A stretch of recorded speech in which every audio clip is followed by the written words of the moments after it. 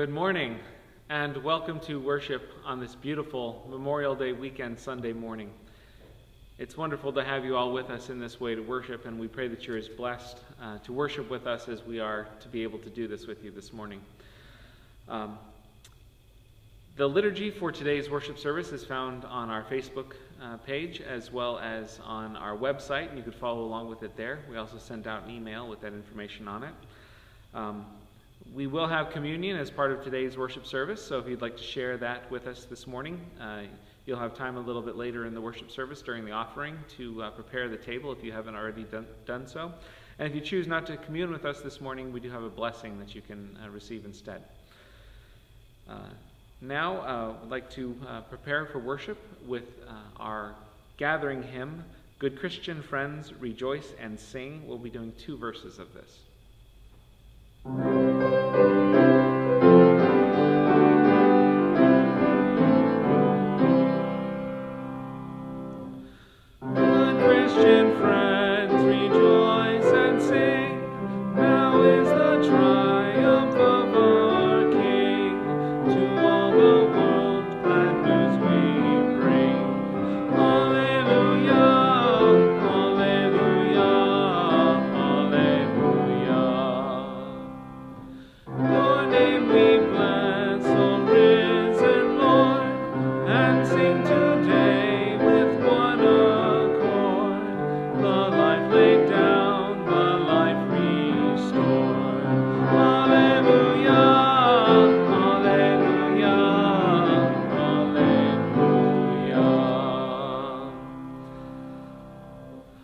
Alleluia, Christ is risen. Christ is risen indeed. Alleluia. Joined to Christ in the waters of baptism, we are raised with him to new life. Let us give thanks for the gift of baptism. We give you thanks, O God, for in the beginning you created us in your image and planted us in a well watered garden.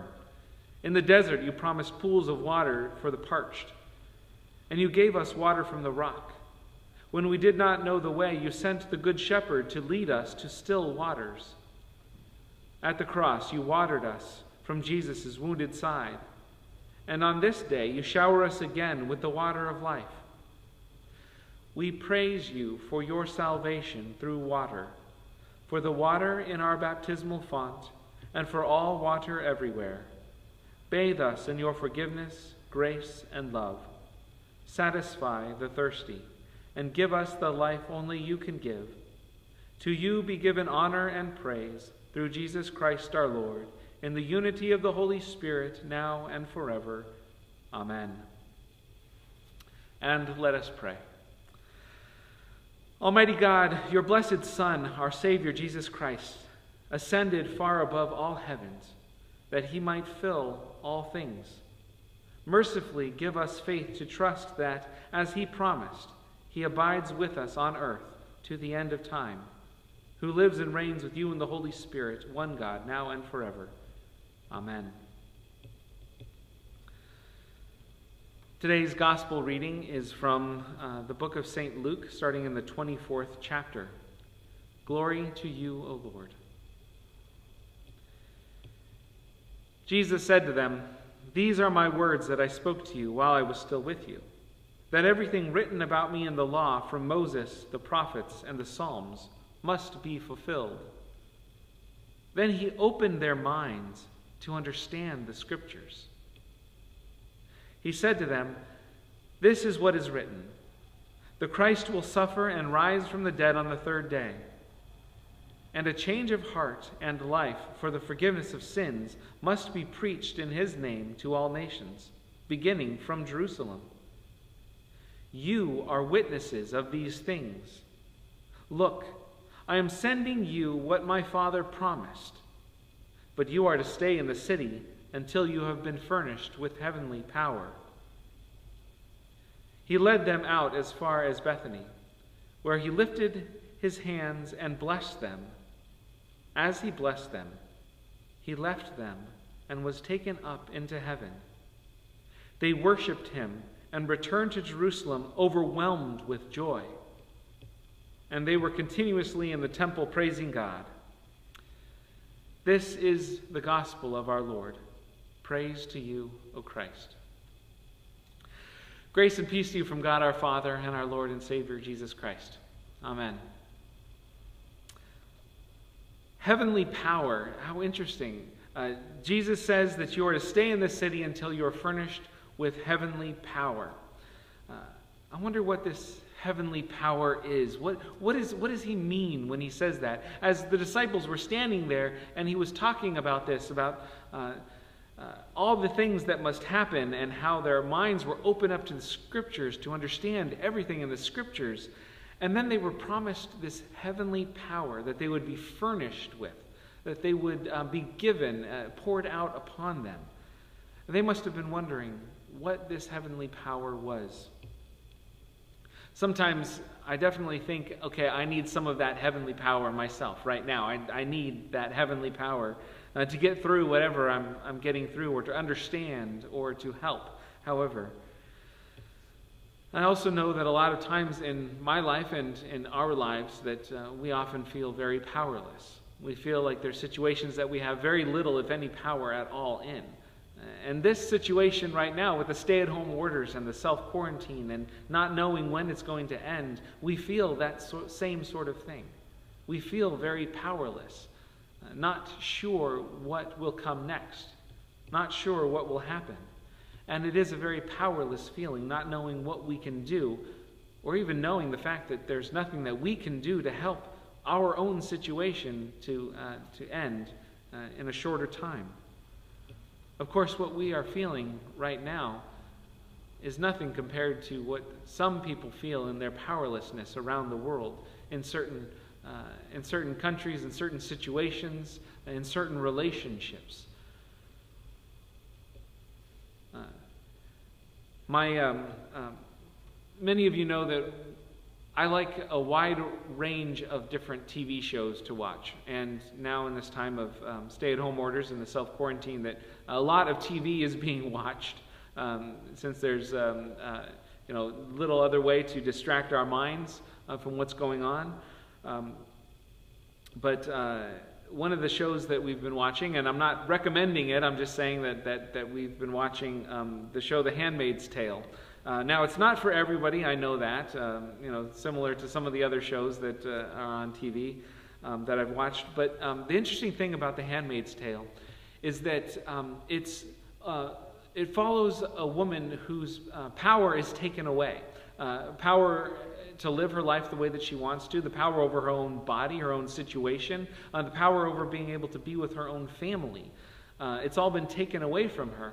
And it's sort of, uh, the story sort of progresses along where she tries to take power back however she can, uh, try to take power back uh, from the people that have taken it from her. Um, but sometimes she's not able to take the power from them, but she tries to take power, whatever power she can, within herself and hold on to that even tighter. Um, for me, this analogy, this metaphor, uh, kind of reminds me that there are two uh, different types of power that we have in the world. Uh, there's one power that um, can enslave, uh, one power that can, um, can exert itself over another, forcing another to do what they want. But then there's another kind of power. And this is another kind of power that frees somebody, empowers those people, frees them to live a full life. One is enslaving uh, to sin, to, to fear, to hate, to death, to the power of the devil, and one that frees and frees people in order to live a full life, empowers them to find love and happiness and joy in their lives. One is about personal gain, which is what we call sin, uh, and this focus on the self and selfishness. Uh, the turned inward nature that uh, stops us being able to see what other people are going through, uh, the way that our taking of power for ourselves can take power away from other people and enslave others, but then also the power that we have over ourselves. When we try to take power in certain areas, we enslave ourselves to our sin, uh, be that uh, the sin of our mind being caught in uh, these time loops where we're constantly thinking about our own needs, our own gain, our own selfishness, um, and enslaves us uh, to that. The other kind of power frees us, would hold us down, that would uh, bind us uh, to our sin, uh, frees us from those chains in order to go out and live a good life full of happiness and joy and love. Where we're not enslaved to our own desires, but, in, but are free to love the world as Christ loved the world. Where we can act for the good of others, not just the good of ourselves. Now, the truth is, we have all sorts of power in the world and in our lives but it's how do we use that power? For instance, uh, we have the power right now to be able to stay home, to be able to, to wear a mask, to be able to wash our hands, to be able to, to do these things. And the truth is that we also have the power to go out in the world and not do these things. But that would be reckless, that would be selfish, and that would be um, not uh, uh giving life to others, but actually hurting others and has the potential to hurt others, even if it makes them think differently about themselves. What is the right use of the power that we have in our lives? Sometimes I think that we feel so powerless in our lives that we do things in order to take it back. It's always not it's not always good for us when we do these sorts of things. When we, we feel powerless and so we strike out in our lives, uh, we end up hurting other people. Uh, we end up enslaving them or enslaving ourselves, as I said. And we give in to sin in order to feel that power, to feel that possession over ourselves and the things in our lives. I think of uh, the two hairdressers that have been in the news recently that, uh, that worked uh, in the salon that probably shouldn't have been open to begin with, but they knew they had symptoms of the virus, yet they worked anyways and exposed over a hundred of their customers to that. I think of a church in California that defied orders, uh, stay at home orders, and met for in person worship and exposed hundreds of people to the virus because one person decided to go to church even though they had symptoms. This isn't even uh, taking into account all the other people that weren't exhibiting symptoms but did have the virus. I even think about another church that defied orders to stay at home and so offended someone in the community that the church was burned down. So their own sin actually prompted the sin of another. People trying to take the power back in an unlawful sort of way, both uh, earthly laws, but also heavenly laws of morally right, caused so much sin to happen in the world. And this is the wrong use of power. This is the kind of power that enslaves others and binds them and ourselves to sin. And that's not heavenly power. That's not the kind of power that we were given by Jesus. And that's not the kind of freedom that we were given by Jesus. Heavenly power is not a feeling of our own power, it's not a feeling of our own abilities and desires and the ways to live that we want to, to live. That's earthly power. Heavenly power is different. Heavenly power looks like this a change of heart and life for the forgiveness of sins. Being able to be preached in Jesus' name to all nations being able to witness to these things, being filled with the Holy Spirit in order to witness to the goodness and grace and love of God. This is heavenly power. It's the power to empower others to live a life of love, to live a life of goodness and grace and mercy. It empowers others to have a life of joy. It's the power to uplift others and the power to love others, even when we are not loved in return. The power to rescue the powerless from their downward spiral. This is the power of the Holy Spirit. Heavenly power is the power to witness in truth and love to the goodness of God,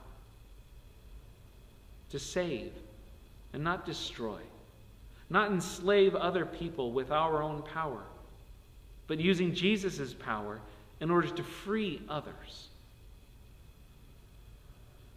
Now, understanding what true power is and being a witness to Christ's love in the world, this is how we use the power of the Holy Spirit. So I challenge us all in this time uh, to examine our lives, examine the power that we have, the power that we want, to see what power we truly have in our life in order to affect other people for good, and thereby be uplifted in our own spirit, in our own freedom, in the power given to us by the Holy Spirit to live our own lives of joy. Amen. Uplifted by the promised hope of healing and resurrection, we join the people of God in all times and places in praying for the church, the world, and all who are in any need with the words, Hear our prayer. Living God, you chose us to be your witnesses in the world. We pray for the church in every place and the congregations in our community meeting now at home. Focus our hearts and minds on the ministry and power that we share in your name. Lord, in your mercy, hear our prayer. Loving God, all creation sings praise to you. You delight in the oceans and in the mountains that are your throne. Teach us humility and respect for our home. Lord, in your mercy, hear our prayer. Sovereign God, you rule the heavens and the earth and time itself.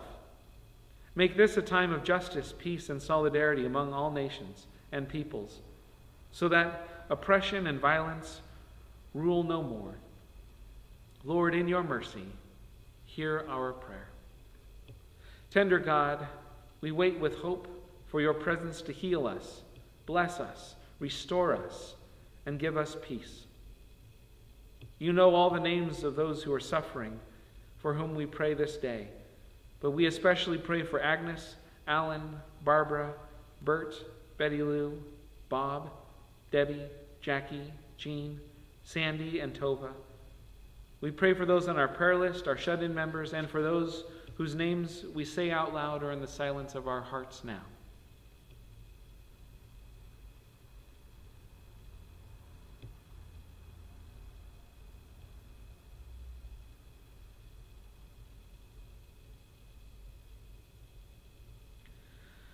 We pray for those who serve in the military, especially Christopher, JT, Gage, Jared, John, Nate, Robert, Sarah, and Tim. We also pray for all those who remember on this Memorial Day weekend. Lord, in your mercy, hear our prayer. Gentle God, you guide us as we seek wisdom. We pray for teachers, professors, theologians, daycare workers, and all those charged with teaching the young and old, especially in these times of COVID 19. Give them endurance and persistence in their valuable work. Lord, in your mercy, hear our prayer. Infinite God, your inheritance given to all your saints is your presence in our life and in our death. We remember with thanksgiving the faithful departed. Lord, in your mercy, hear our prayer. With bold confidence in your love, Almighty God, we place all for whom we pray into your eternal care through Christ our Lord. Amen. We now continue our worship with uh, the offering. I want to remind you that you can give electronically uh, through our website, redeemerjamison.org. Uh, you can also uh, click the donate button on any of the emails that came from uh, the church. Uh, if you've not already done so, please prepare your communion table. And now uh, we have a musical offering from our musician, Mr. Jameson Van Horn.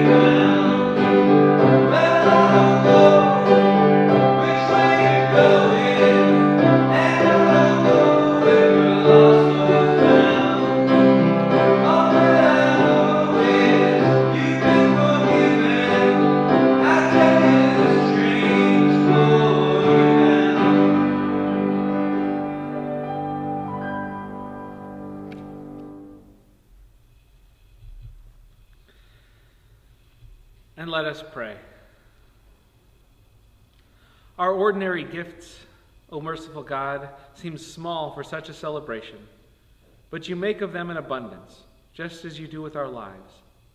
Feed us again at this table for service in your name, in the strength of the risen Christ. Amen. The Lord be with you. In the night in which he was betrayed, our Lord Jesus took bread, gave thanks, broke it, and gave it to his disciples, saying, Take and eat, this is my body given for you. Do this for the remembrance of me. Again, after supper, he took the cup, gave thanks, and gave it for all to drink, saying, This cup is the new covenant in my blood, shed for you and for all people for the forgiveness of sin. Do this for the remembrance of me. Gathered into one by the Holy Spirit, let us pray as our Lord taught us. Our Father, who art in heaven, hallowed be thy name. Thy kingdom come, thy will be done, on earth as it is in heaven. Give us this day our daily bread, and forgive us our trespasses, as we forgive those who trespass against us. And lead us not into temptation, but deliver us from evil. For thine is the kingdom, the power, and the glory, forever and ever. Amen. Come to the banquet. Behold the risen Christ.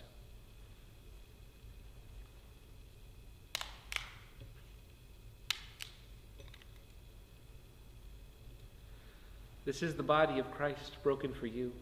This is the blood of Christ shed for you.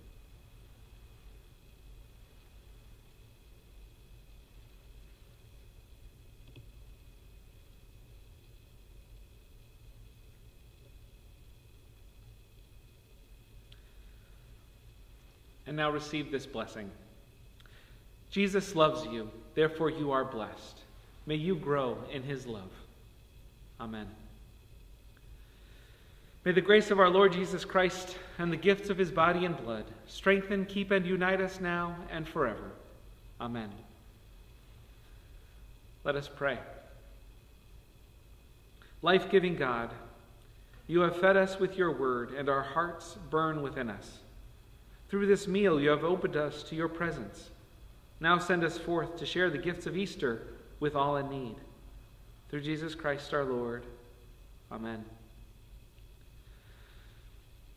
May the one who brought forth Jesus from the dead raise you to new life, fill you with hope, and turn your mourning into dancing. Almighty God, Father, Son, and Holy Spirit bless you now and forever. Amen. We will now conclude our worship with three verses of I'm so glad Jesus lifted me.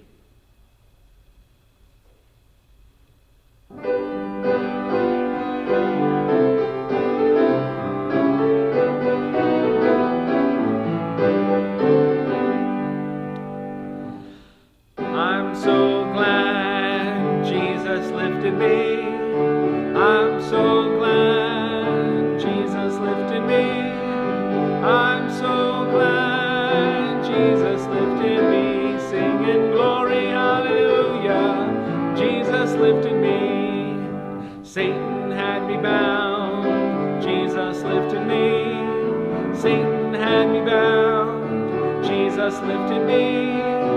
Satan had me bound. Jesus lifted